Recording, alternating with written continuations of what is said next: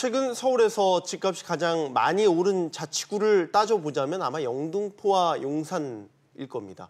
박원순 서울시장이 여의도와 용산에 대한 대규모 개발 계획 마스터 플랜을 언급을 하면서 기대감이 한껏 높아져 있는 상황입니다. 네, 하지만 이르면 8월 공개될 예정이었던 서울시의 개발 계획 발표가 당초 예상보다 늦춰질 것으로 보입니다. 김현미 국토교통부 장관이 서울시의 여의도 용산 일대 개발에 제동을 걸었기 때문인데요. 어떤 내용인지 관련해서 자세한 이야기 알아보겠습니다. 김인만 부동산 연구소 김인만 소장입니다. 어서 오세요. 안녕하십니까? 안녕하세요. 박원순 서울시장의 깜짝 발표였잖아요. 네네. 여의도 용산 마스터 플랜. 네. 도대체 뭐길래 이렇게 후끈 달아오르게 만든 걸까요? 네. 그 박원순 시장이 싱가포르 중에 기자 동행단에서 이제 깜짝 발언을 했습니다. 네. 그래서 말 그대로 깜짝이어서 지금 모두 깜짝 놀랐는데요. 깜짝 발언에서 깜짝 놀랐군요. 네. 여의도 마스터. 플랜 같은 경우는 이제 개발한 지 50년이 지나서 여의도 같은 경우는 이제 아파트 개별적으로 재건축을 추진하고 있지만 좀 네. 지지부진한 상황이었는데 네. 그걸 뛰어넘어서 금융 국제 업무 지구와 그 주거지를 합쳐서 신도시급 재개발을 하겠다라는 거의 뭐 음. 폭탄 발언 수준으로 해서 지금 여의도가 굉장히 난리도 아닌 상황이고요. 용산 마스터 플랜 같은 경우는 서울역에서 용산역까지 지상 구간을 지하화하면서 회의, 전시, 뭐 관광 이런 쇼핑 센터 등 MICE 개발이라고 하죠. 이게 삼성동에서 잠실까지 하는 MICE 개발을 여기 용산도 같이 진행하겠다라는 마스터 플랜을 언급을 했습니다. 그래서 네. 한 8월 정도에 할 예정이었는데 조금 지금 정부와 약간 악유가 있는 것 같습니다. 네. 음, 사실 박원순 시장이 이제 여의도하고 용산을 지목해서 개발 계획을 발표했을 때 많은 분들이 왜 여의도일까, 왜 용산일까라고 물음을 가지셨을 것 같아요. 네네. 일단 2013년도에 발표한 2030 서울 도시 계획을 좀 기반에 두고 있는 것 같습니다. 2030 도시 계획을 보면 한양 도심과 강남과 영등포가 3도심으로 되어 있는데요.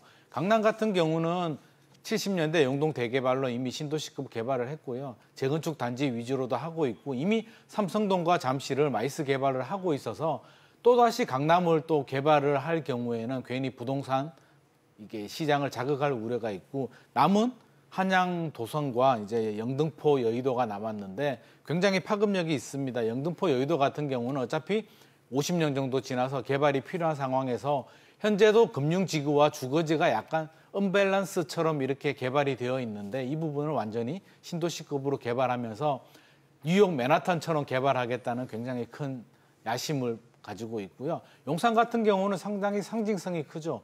우리나라 교통의 요지에 뭐 입지 자체는 말할 것도 없고요. 민족공원이라든지 여러 가지 개발 호재가 많은데 이런 상징성이 큰 용산에 그 서울역에서 용산역까지 MICE 개발을 하면서 박원순 시장님 입장에서는 굉장히 정치적으로도 큰 개발 업적을 좀 노리고 있는 것 같습니다. 네. 어, 의도가 무엇이든 어쨌든 박원순 시장의 발표는 여의도와 용산의 집값을 들썩거리게 만드는 건 분명한 네. 사실인 것 같습니다. 얼마나 들썩거렸죠? 굉장한 개발 호재죠. 사실 여의도 같은 경우는 그동안에 뚜렷한 개발 호재가 없었습니다. 뭐 네. 재건축 단지들 위주로 개별적으로 재건축을 진행했지만 계속 뭐 반려가 되고 제대로 추진이 안 되면서 어떻게 보면 목동보다도 더 못한 지역이 여의도가 돼버렸거든요. 음. 80년대까지만 하더라도 우리나라 뭐 여의도라고 하면 최고 부촌으로 이렇게 굉장히 각광을 받았는데 네. 굉장히 이게 계속 침체기를 겪고 있다가 이번 박원순 시장님의 발언 한 번으로 완전히 상황이 역전이 되면서 매물 자체가 찾기도 힘들고요. 음, 7월 10일 날 이제 발언이 있었는데 네. 7월 11일 날 다음 날 매물 8개가 다 거래가 되어 버렸고요. 그나마 있는 나머지 매물들은 주인들이 다 회수를 했습니다. 그래서 아. 뭐 목화 아파트라든지 뭐 한강변에 있는 그런 아파트들이 호가가 한 2억 정도 올랐는데 그마저도 매물을 찾을 수가 없는 상황이고요. 음. 용산 같은 경우는 원래 개발 호재가 많았고 강남은 올 봄부터 약간 보합사였지만 용산은 용산, 마포, 뭐 성수 이런 지역들은 굉장히 인기가 높은 지역이었는데 여기에 또 기름에 불을 이게 쏟아 부게 되면서 굉장히 용산은 뭐 원래 매물이 없었는데요. 지금 더 매물도 찾기 어렵고 개발 호재가 하나 더 추가되면서 뭐 어떻게 보면 정부가 바라지 않는 상황이 지금 전개가 되고 있는 것 같습니다. 네. 네. 어제 발표된 그 올 상반기 전국 집가 변동률 그리고 토지 거래량 데이터 비춰 분석을 해본다면 어떻습니까? 어, 땅값은 많이 올랐습니다. 예. 2.05%가 상승했어요. 전년 대비 한 6.9% 정도 상승했습니다. 땅값 상승을 보면 이게 뭐 닭이 먼저인지 달걀이 먼저인지 좀 따져봐야겠지만 아파트 가격이 강세인 곳이 땅값도 많이 올랐습니다. 그래서 네. 세종시, 부산, 서울, 대구 순으로 많이 올랐고요. 경기도만 보면 평균 0.2505%보다 조금 낮은 한 2% 정도 상승이었는데 지역별로 편차가 큽니다. 최근에 남북 화해 모드가 조성이 되면서 파주하고 이제 이런 지역들이 굉장히 투자 수요들이 많이 몰렸는데 역시나 파주가 5.6%로 굉장히 많이 올랐고요.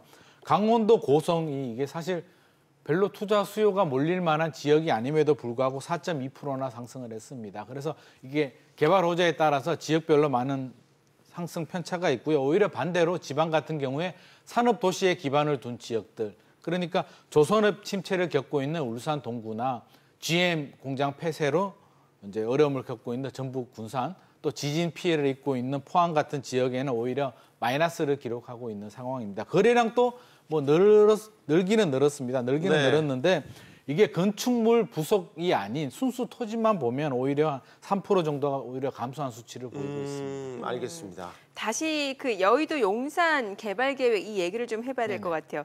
박원순 시장 이 마스터 플랜을 발표했는데 지금 이제 김현미 국토교통부 장관이 제동을 걸고 나섰단 말이죠. 네.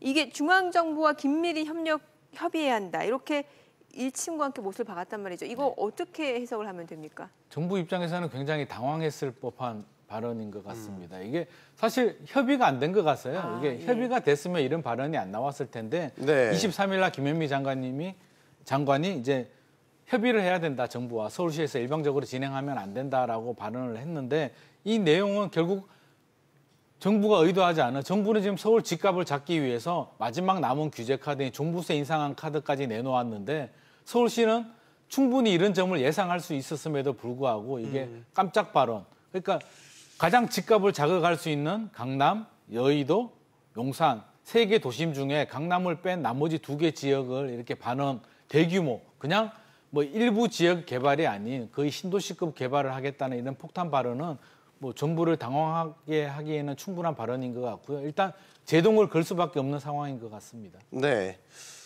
어, 서울시장이 발표는 할 수 있되 개발이 되느냐 마느냐의 키는 정부에게 있다 이런 뜻으로 해석이 되는데 앞서 이제 김현미 장관 발언 화면 좀 다시 보여주시면 좋을 것 같아요. 이 디테일에 많은 그 함의들이 있기 때문에요. 실제 개발 계획에 대한 법적 권한이라고 할까요? 네. 지금 저기 김현미 장관 발언 나오지만 국토부하고 긴밀한 협의가 이루어져야만 실현 가능성이 있다라는 네. 거죠. 발표는 할 수 있지만 네. 실현 가능성은 중앙 정부가 쥐고 있다.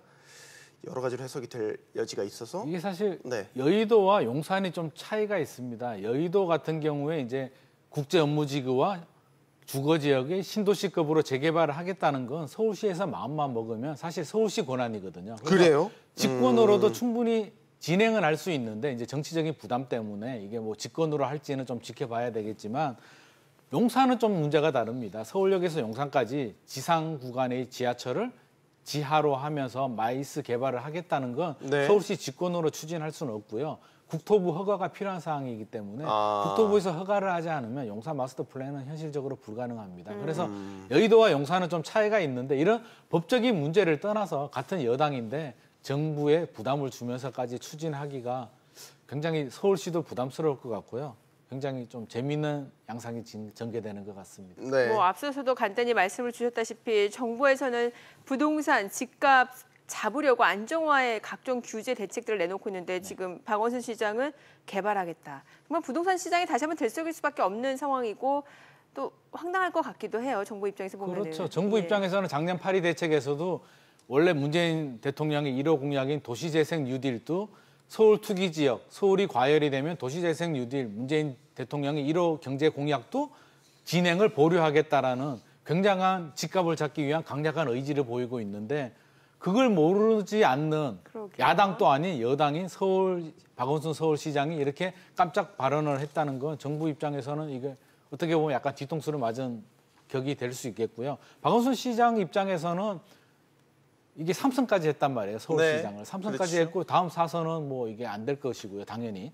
그러면 남은 게 대선인데 그동안 뚜렷한 이게 개발 성과가 없었다는 게 박원순 시장의 꼬리표였단 말이에요. 그래서 한 게 뭐냐 음. 이런 비판이 많았기 때문에 더 이렇게 대규모 개발 사업에 좀 더좀 조급증을 낼 수밖에 없는 상황인 것 같습니다. 아, 이 개발 부분에 있어서는 그다지 좋은 평가를 받지 못했기 때문에 그렇죠. 어떻게 보면 회심의 승부수 박원순 시장이 그렇게도 받아들여질 해석될 여지가 있다라고 이제 보시는 거고. 승부수를 둬야 될 때가 이제 됐다는 거죠. 이게 사실 지난 이명박 전 대통령 같은 경우도 서울시장 시절에 이게 청계천 개발을 한번 하면서 굉장히 지지율도 많이 올라가고 어떻게 보면 대통령까지 이게 고속도로를 바로 탔단 말이에요. 네. 박원순 시장님도 사실 지금 지지율을 보면 대통령 후보로서는 약간 좀 부족한 면이 있는데 이번 기회에 확실하게 좀 개발을 해야겠다라는 마음을 가진 것 같고요. 서울로 7017 이 이제 고가도로 위에 공원을 만들어서 이렇게 어떻게 보면 박원순 시장의 회심의 개발 호재였는데 사실 국민들 반응은 약간 뜨뜻미지근했거든요. 제가 보더라도 물론 뭐 이게 잘 만들긴 하셨지만 이게 가보면 과연 이게 지금 굉장히 폭염으로 더운데 겨울은 굉장히 춥고요. 그래서 과연 저게 얼마나 좀 이게 체감이 잘 되지 않았거든요. 그래서 박원순 시장 입장에서는 이번에 좀 큰 마음 먹고 이렇게 발언을 한 것 같습니다. 네.